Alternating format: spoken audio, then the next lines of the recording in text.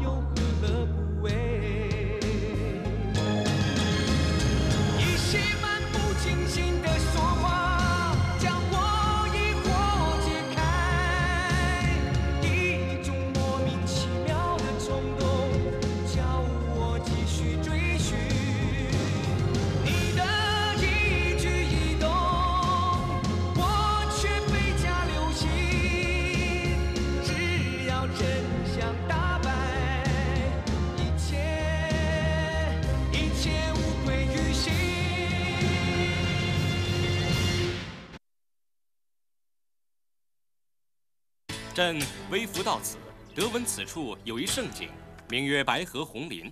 据称，白河的沙白似云，红林的叶每逢初秋红艳似血，故此朕特来欣赏。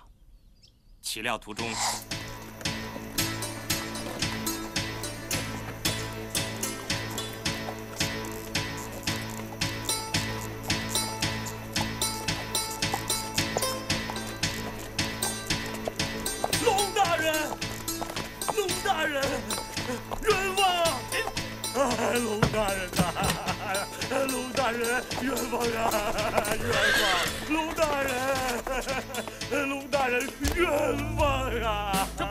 轿子，请让路！我儿子真冤呐！龙大人，搞错了！哎，龙大人呐，小人冤枉啊！龙大人，什么事儿啊？前面有一老伯跪在路上。龙大人呐，冤枉啊！大胆，竟敢拦舆告状！龙大人，我儿子死的好冤枉啊！龙大人替小人伸冤呐！你这个老头好不知趣啊！本官要回家吃饭，你在这里拦路，把他拉开。是。不不不不，走走。龙大人，我是樊伢子的爹，我儿子死的真冤枉啊！走，快走，走别废话。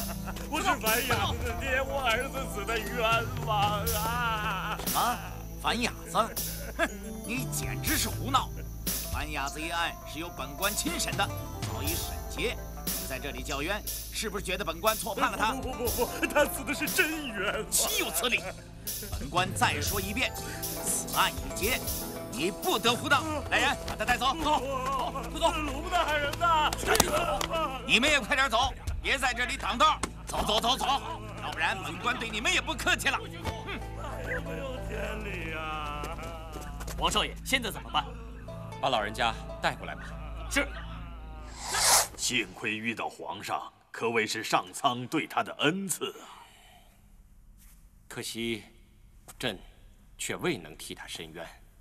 当皇上带樊老伯来找下官，说有冤案之时。下官自问查案十几年，也破了不少奇案，总以为是个简单不过的事。老身自幼家贫，目不识丁，一直靠要饭为生，以为儿子出生长大以后可以享享晚福，怎料老伴儿去世，而儿子生下来就又聋又哑，一直不会说话。所以，我们父子俩一直以讨饭为生。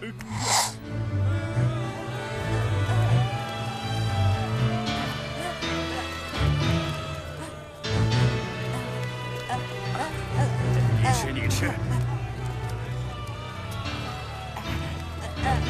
去去去，一边去。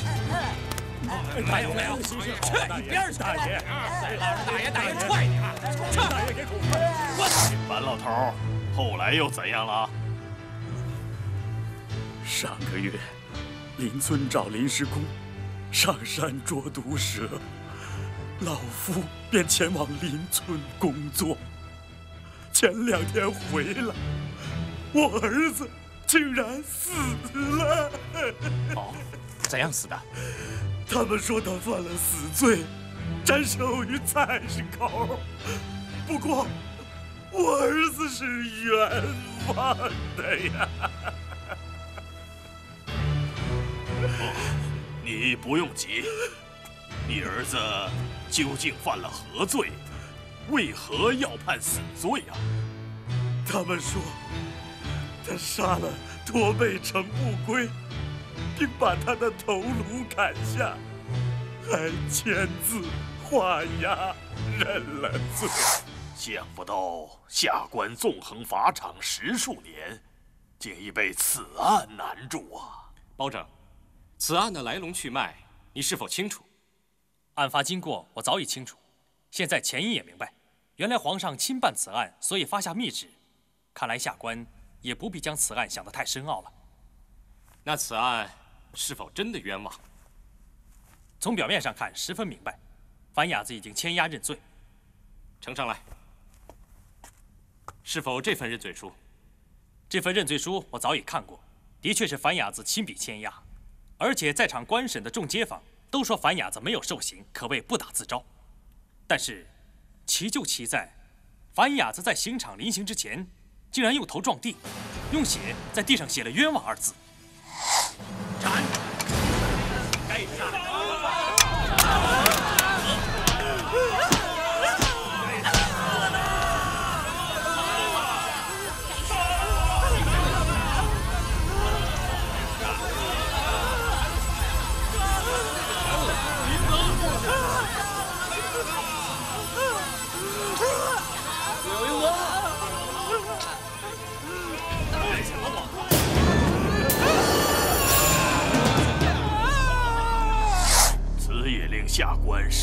费解。樊老头声称儿子无辜，说儿子手无缚鸡之力，且死者虽然是个驼背，但颇有点蛮劲呐。这也是本案之所以可疑、值得侦查之处。朕虽然不能破解其中的谜团，但朕总觉得此案是冤案。皇上圣明，下官也是这么想的。下官几乎可以肯定，那个驼背的程不归，并非樊雅子所杀。就凭捡到的头颅，不错，那你还等什么呀？我在等暗中的一块小石头自己浮出水面。那是，那就是樊雅子为什么会签押认罪。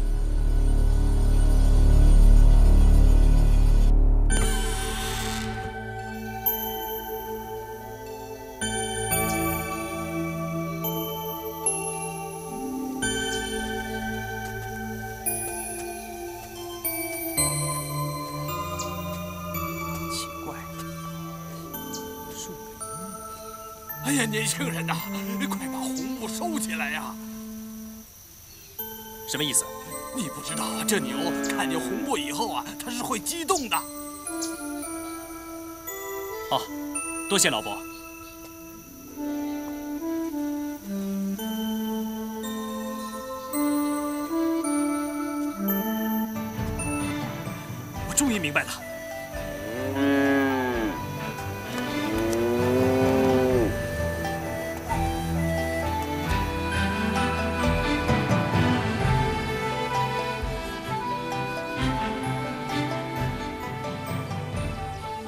两天了，可是花儿他……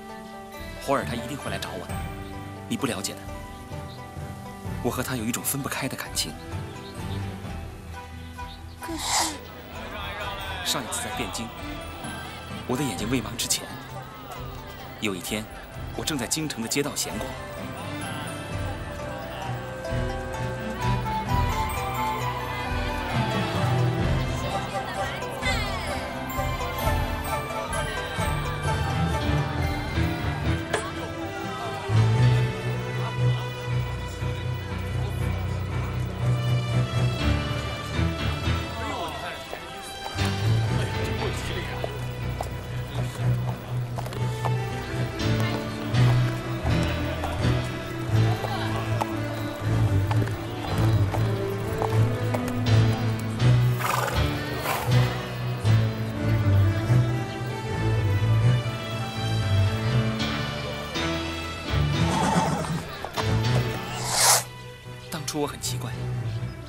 眼神好像是在祈求我，要我帮助他似的。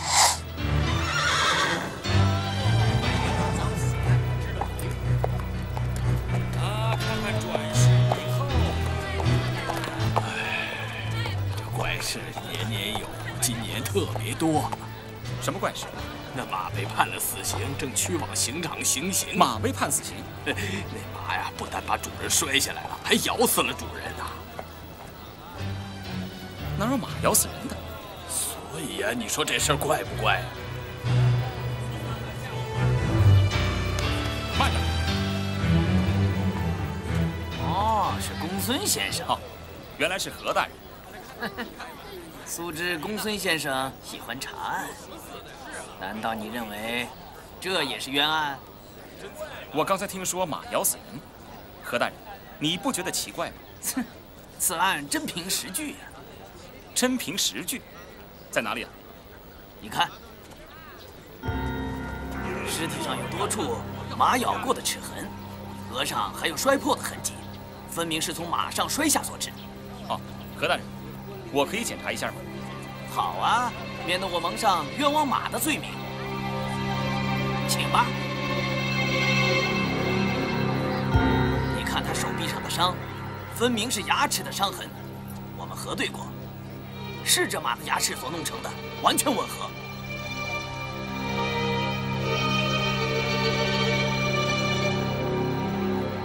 何大人，你也实在太过于疏忽了。什么？他手臂上的伤不足以令他致死。哼，这马顽劣，先把主人摔死，然后再咬主人。他并不是摔死的，凡摔死的人呢，一定会内脏受伤而死，而且会七窍流血。他现在并没有，所以他并不是摔死的。那，那他额头上的伤呢？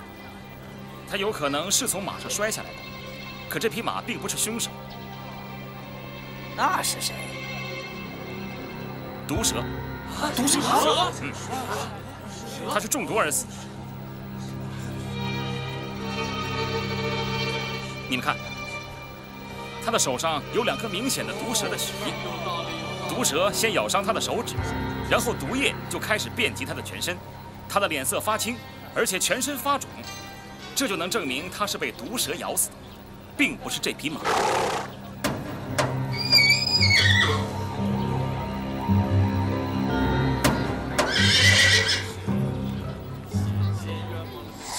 原来真有这事啊！此事啊，已经传遍了京城，说是有人替马翻案。哈，原来是你呀！我还一直以为是大家的传说呢。是真的。后来有人来报告，说他目击了整个过程。原来火耳的主人先被毒蛇咬伤了，中毒昏迷。这个时候，火耳就咬着他的主人往家狂奔，在途中他就虚脱了。哎，所以才把他的主人给摔在了地上。正好有人路过，就认为是火耳伤害了他的主人。啊，原来这是一匹那么忠心耿耿的马呀！嗯，所以我就替它起了这个名字，叫黄耳马，来表扬它对主人的真诚。哎，对呀，火耳，一个火字加上一个耳字，那就是忠心耿耿的耿了。嗯，这马很有灵性，它好像知道是我救了它似的，一直想来报恩。自从我瞎了以后，我的心情一直都很差。我住在大相国寺内，后来得到了然禅师的点化，我才开始重新站了起来。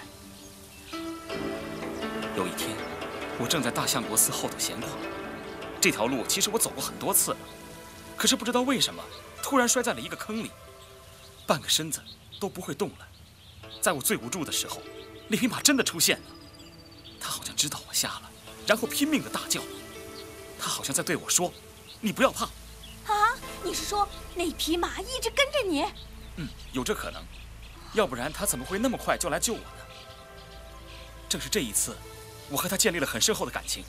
当时他就咬着我的胳膊，把我从那个坑里给拉了出来，又让我伏在了马背上。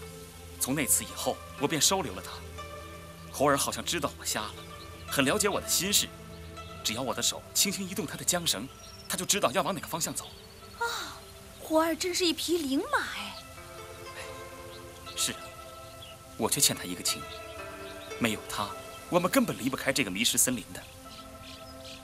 火儿他现在身陷险境，我竟然……哎，火儿真的有灵性啊！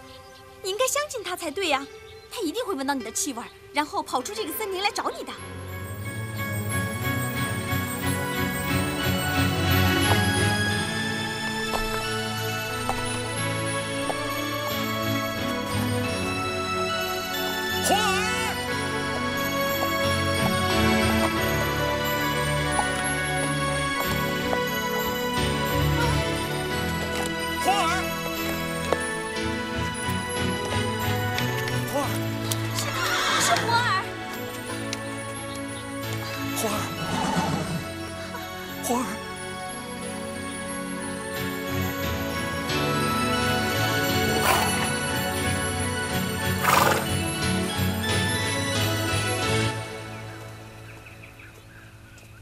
小敬亭是不是又出去了？是啊，他最近经常早出晚归，听说在打听冯止水的事，可有此事啊？有。完了，全完了。樊老伯，樊老伯，完了，完。樊老伯，我有个问题要问你。什么事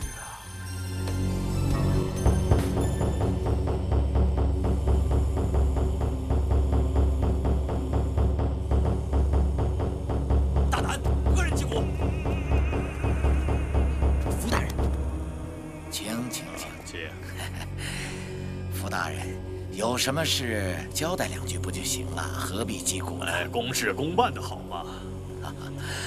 福大人，请上座。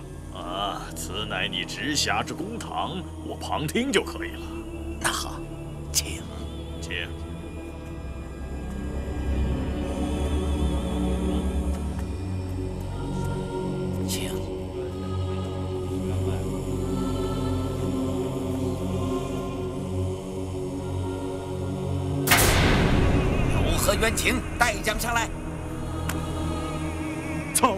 樊老头。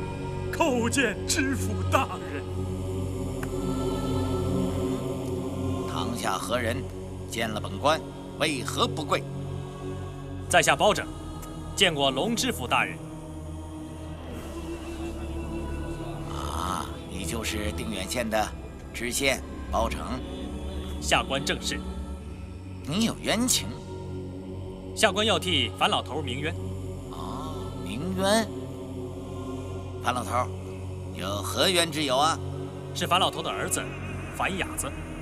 哼，樊老头，你儿子的案件早已审结，现已正法，你四处鸣冤，想陷害本官吗？哎，大人啊，小人不敢呐，不敢。大人，草民的儿子樊雅子确实没有杀人，请大人明察呀。那件无头公案早已了结了，你儿子当场认罪，并予画押，承认杀人，你还有什么冤情？大人，恕下官无礼。一件杀人案，大人判得如此轻率，你大胆！本官哪里轻率了？凶手杀人之后割下死者的头颅，大人并没有找到全尸，就凭一具无头尸体来断案，难免让人觉得轻率。樊雅子杀的人叫程不归，你可知道？程不归天生驼背，本官虽然没找到头颅，但早已验明正身。下官并没有怀疑死者的身份。程不归是被斧头砍死的，继而又被割下了头颅。本官已吩咐仵作相加剖验，传仵作岑明。传岑明，小人岑明见过大人。岑明，你是干什么的？小人岑明乃本府之仵作。程不归的身上满是斧痕，且其斧头所砍杀致死，可有此事？根据尸体上的伤口表皮粗阔，肌肉的伤口却狭长。根据这些伤痕，程不归确实是被斧头砍杀而死。本官也在樊雅子处搜集到带血的斧头。站住！站住！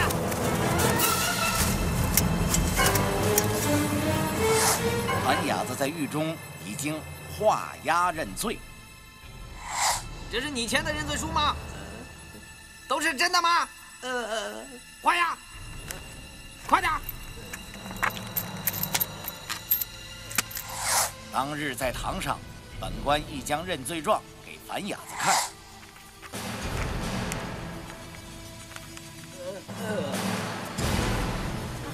哎呀，是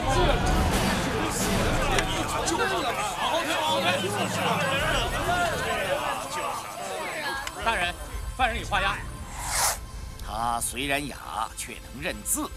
樊雅子当着很多人的面点头承认，那认罪状确实是他亲手所押。这还有什么疑点？还有什么冤情吗？而且，根据本官的调查，樊雅子确有杀人动机啊！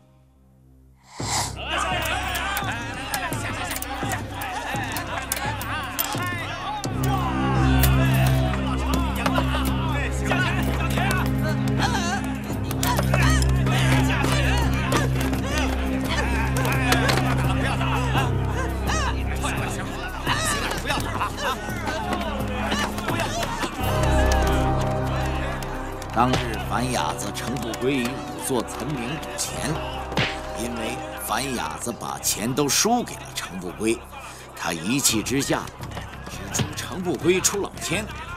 当日破庙内还有几个乞丐都看见他们吵了起来，结果岑明拉走了程不归。但当他们离去之后，樊雅子气愤地做出了要杀死程不归的手势。杀人动机、凶器、审讯，本官哪里有轻率之处啊？下官已经说过，大人并没有找到死者的头颅。那个头颅有这么重要吗？难道找不到他的头颅，就让本案一直拖延下去，让凶手逍遥法外吗？大人，你有没有想过，凶手为什么要砍下程不归的头颅，又为什么要把头颅藏起来？啊，这。岑明，你知道为什么吗？小人不知道。因为罪犯砍下死者的头颅，无外乎有两种原因：一是为了掩藏死者的身份。程不归天生驼背，可谓身体上的特征太明显，所以凶手并不是要掩藏死者的身份。那么凶手这样做，一定是为了第二个原因。就是掩藏死者的死因，掩藏死者的死因，没错。我在死者的裤管里找到一片树叶，这片树叶是红树林特有的，所以我推断死者被谋杀的地点应该是在红树林内。所以，我到红树林内去找死者的头颅，在那里，我还找到了一把斧子。根据尸体头上的伤痕，我发现真正砍在尸体上以及割去头颅的，正是我在红树林内找到的那把斧子。马汉在。小儿马汉见过福大人、龙大人。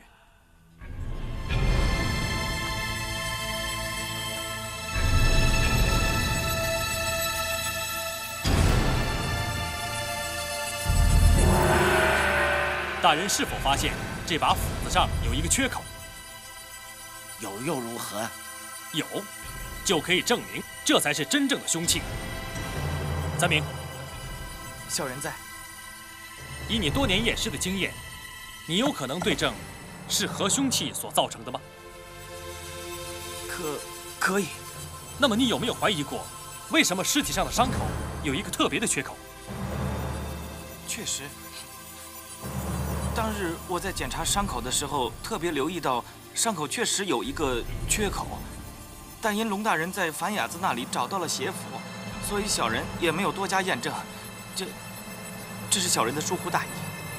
哼，你疏忽，又何止这一点？你把死者的死因也疏忽了。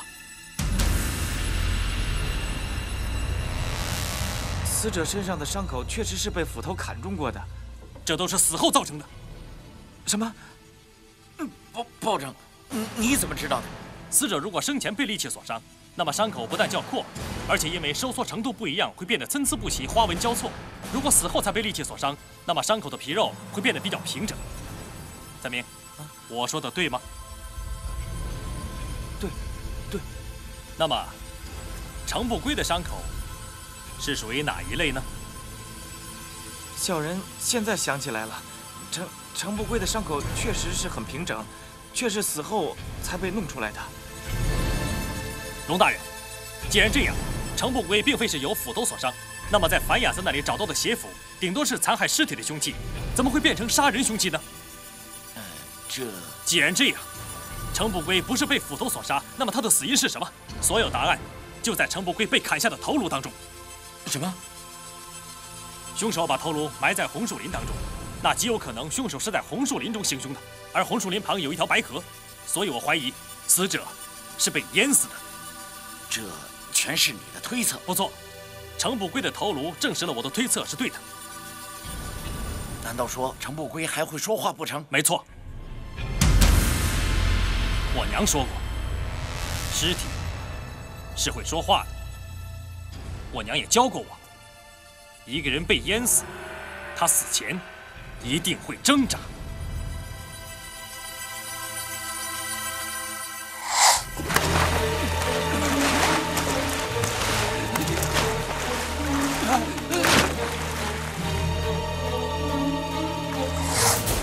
死者不断的挣扎，必定会有大量的河水吸入，甚至是河里的泥沙。于是，我用热水从程不归的脑门灌下。大人，你猜我看到了什么？什么？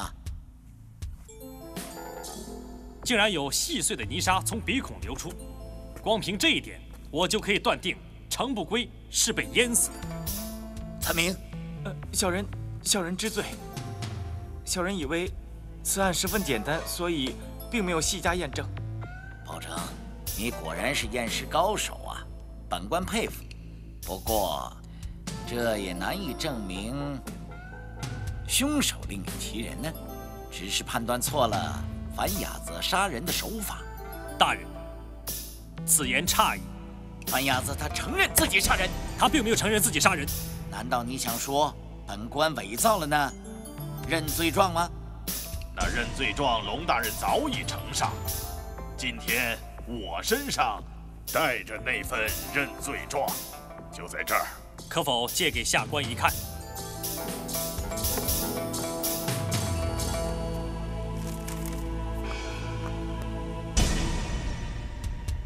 这就是当日那份认罪状吗？正是。马汉。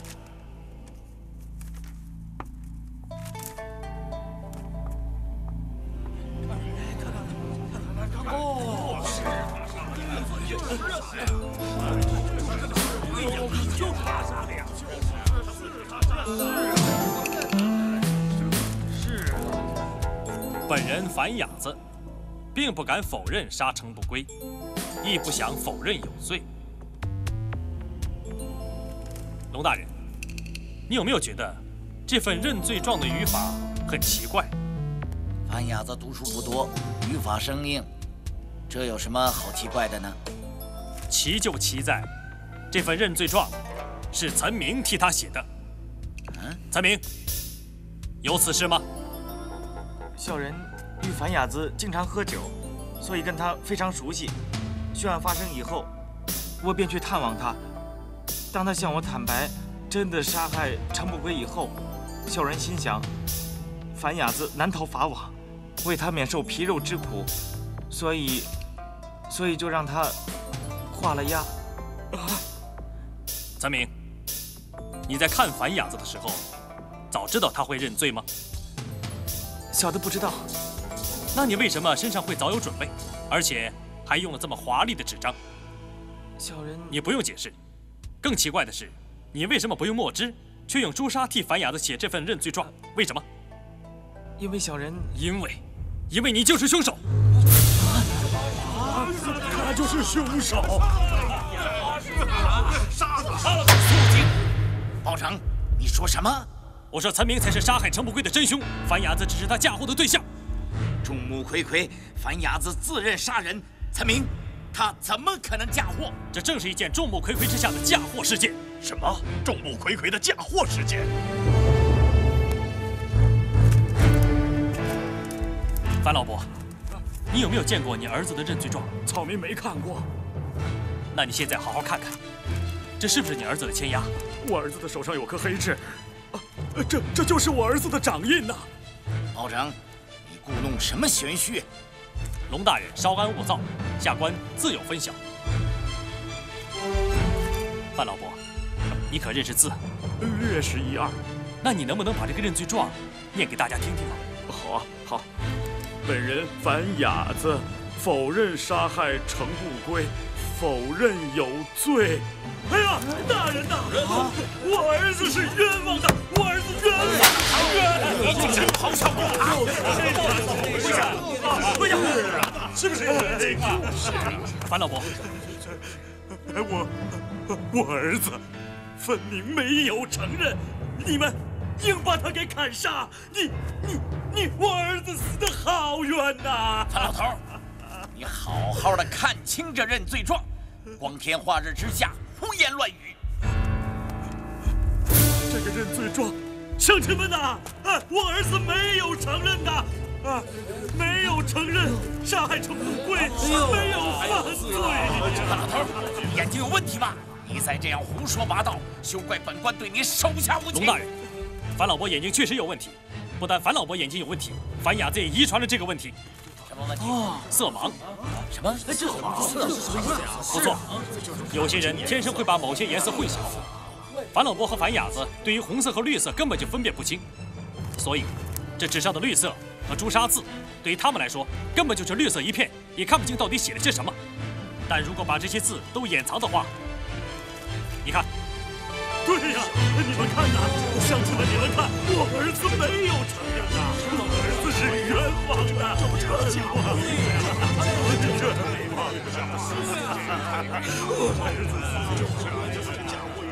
樊雅子一直以为这是申诉状，所以他被押赴刑场的时候，仍然不明白为什么自己会被判处死刑。这就是为什么一个已经认罪的人，会在行刑之前说自己是被冤枉的。三明，你好狡猾！你身为仵作，熟知验尸方法。你把程不贵的头砍下掩藏，又将一把染血的斧头放到樊雅子那里，继而利用樊雅子色盲这一弱点，让他成为你的替死鬼，好让你逍遥法外。岑明，该当何罪？小人小人知罪。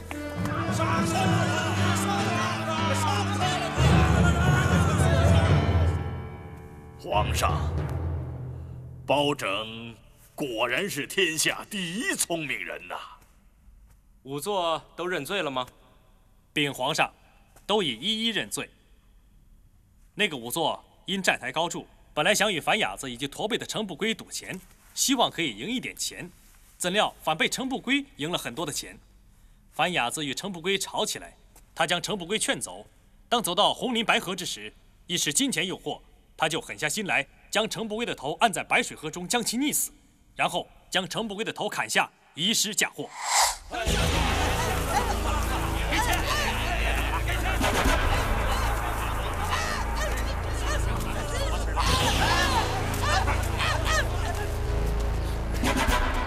这个臭伢子，以后别让我见到他。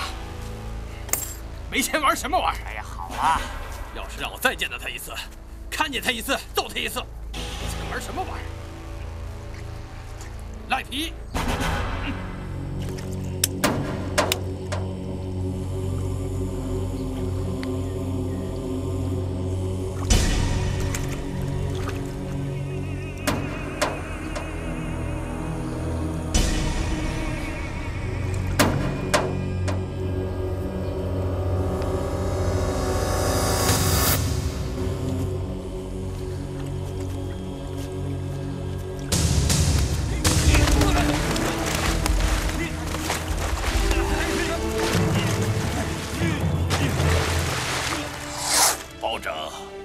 在总算是真相大白了吧？可惜樊雅子终究还是枉死了。龙兴那个老糊涂官，你打算怎么处理啊？下官一定马上严惩。包拯，朕一向赏罚分明，你替朕破了此案，有什么要求吗？傅大人，本来君子不夺人所好，但此事可能另有蹊跷，望大人原谅下官的无礼。哎，包拯言重了，但言无妨。皇上，下官想要皇上那幅画。冯之水的那幅画，正是。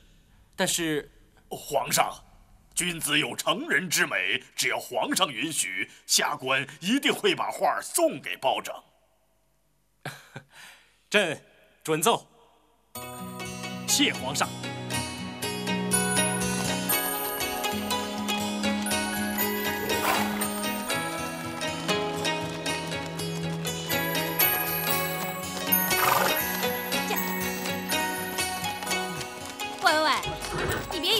别以为一幅画我就感激你啊！其实没什么大不了的，我还常常帮你偷东西呢，这是给我的酬劳，我应得的。虽然是从皇上那儿得到的。但也没什么大不了，别像是给了我什么恩惠似的。哎呀，小姐，整个上午你都在说话，我可什么话都没说过啊。虽然你嘴上没说，但你心里在想啊。你别以为我不知道啊。我心里想什么，你都知道。那当然了。那你猜，我现在在想什么呀？在想怎么捉弄我。果然被你猜到了，真有一套。驾，驾。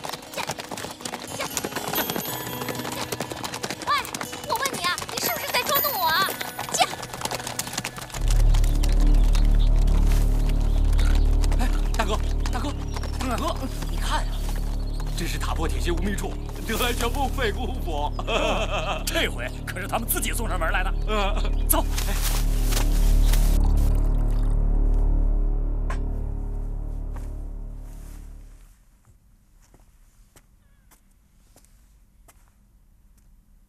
喝杯茶吧。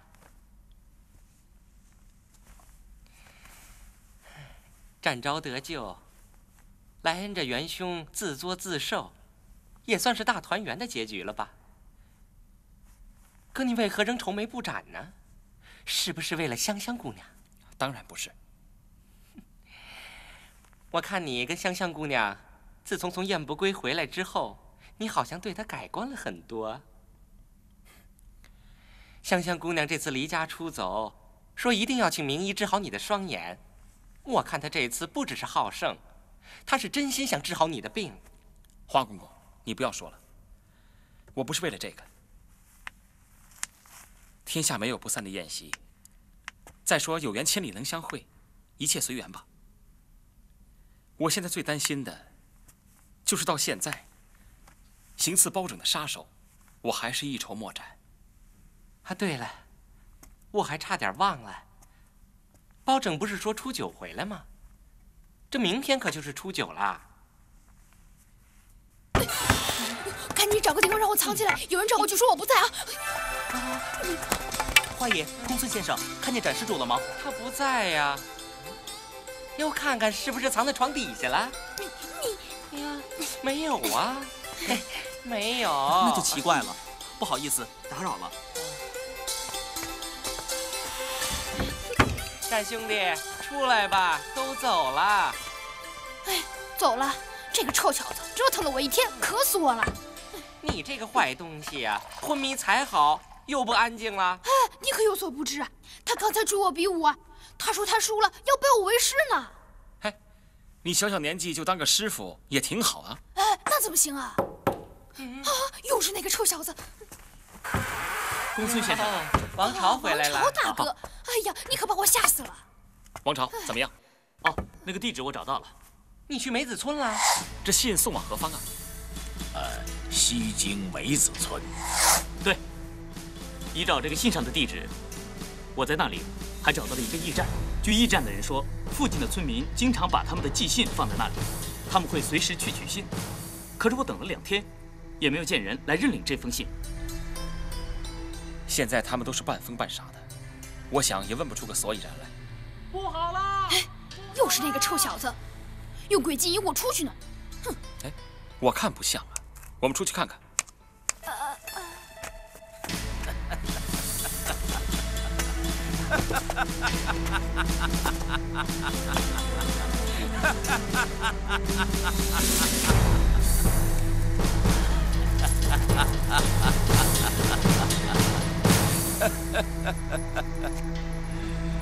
不会，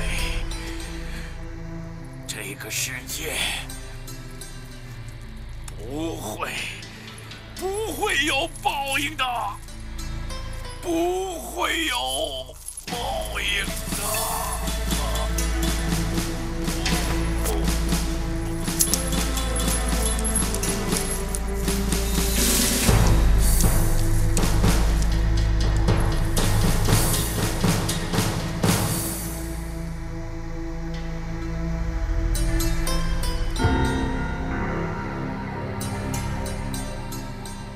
为什么会突然之间醒了？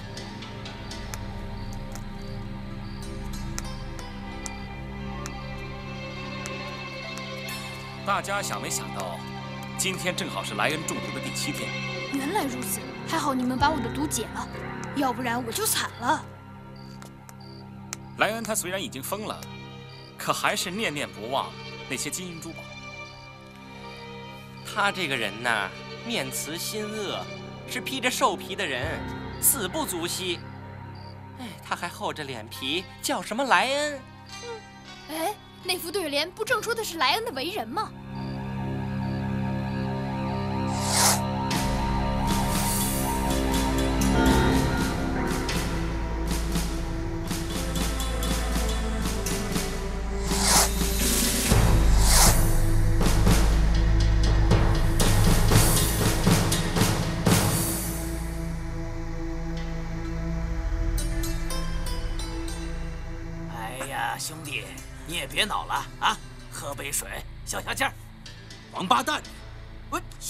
你也吃？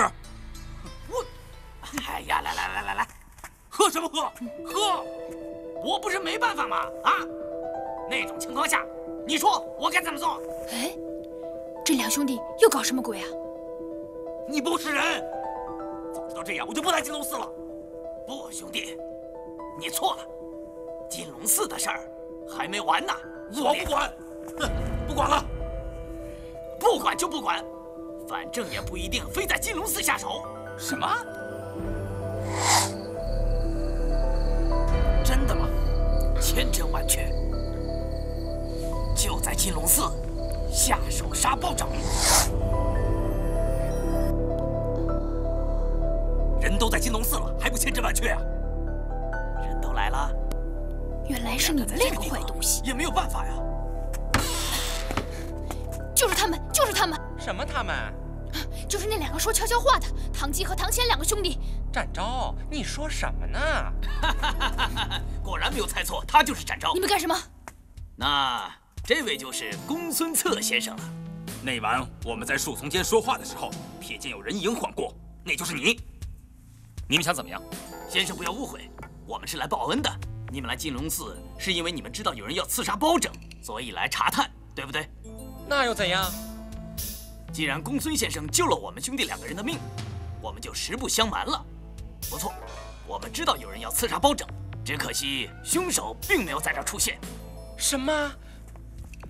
刺客没有到这儿来？对，刺客已经改变了计划。什么？他们要在县衙前下手。我们知道包拯今天要回来，他也会先去县衙，所以如果你们现在不赶紧回去的话，恐怕就来不及了。公孙策，走。哪儿去了？啊？人呢？我怎么知道？你刚才不是看见他们了？你不也要看到了吗？我，算了，反正就一条路，我们往前面追。好好，好。哎呀，这两个人太难缠了。你不要再戏弄他们了。你没有听见他们说会在前面等我们吗？哎，我知道另外一条路是捷径，从那边走，就不会碰到他们了，行不行啊？走。叔